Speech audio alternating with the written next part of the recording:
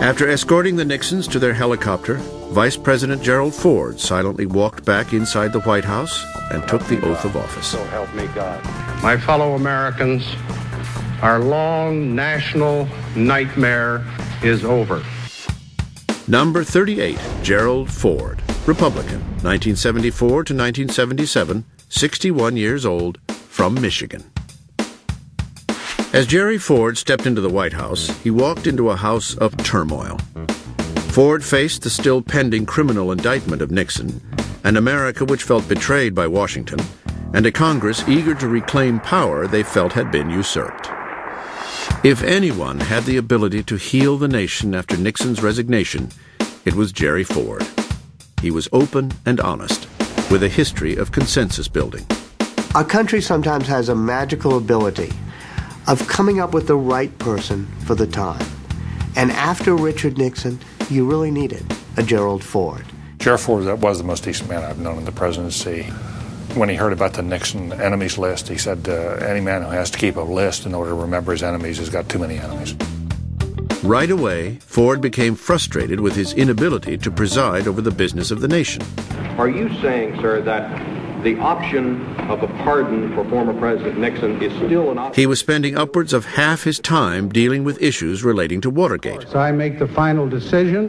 And he said at some point, you know, we've got to cut this off. I've got to govern. We've got to deal with inflation. We've got to deal with Vietnam. We've got to deal with the Soviets. We've got big issues out here. So he said, I'm going to cut it off.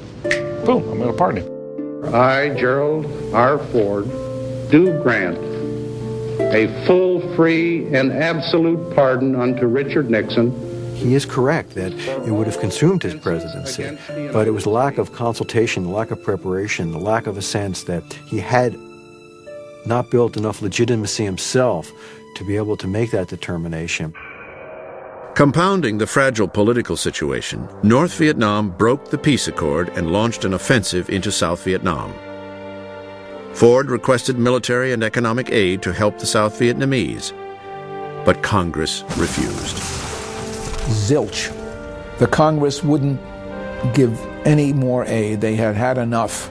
The Congress, knowing nothing of the private commitments made between Kissinger and Nixon to President Thieu, just pulled the plug on Vietnam and unleashed one of the great terrors of people seeking freedom.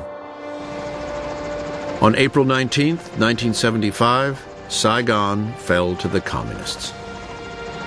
There's certain things that will be seared in our collective memories about presidencies. The helicopter from the Saigon embassy is one of those. We were evacuating.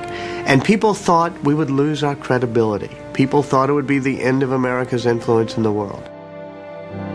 As much as Ford struggled to prevent that outcome, he didn't have the support of the nation behind him.